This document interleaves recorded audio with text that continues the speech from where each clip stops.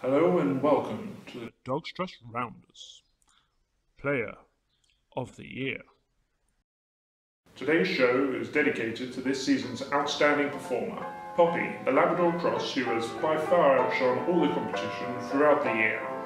Poppy's work in the field this season has been unparalleled. Dedicated and fast, she has punished the opposition time and time again. Nothing can get past her.